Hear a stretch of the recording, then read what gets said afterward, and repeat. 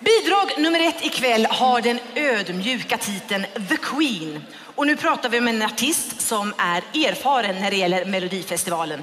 Velvet. Låten är skriven av Henrik Jansson och Tony Love in the Stereo Nilsson.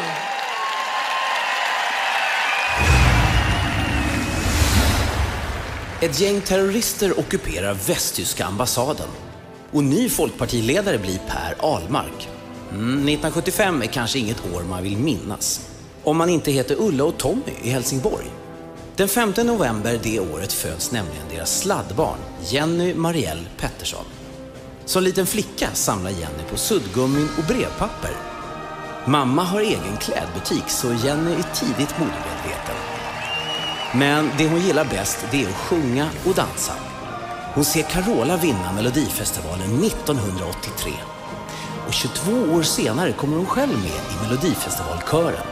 Men det räcker inte. 2006 tar Jenny klivet ända fram under artistnamnet Velvet.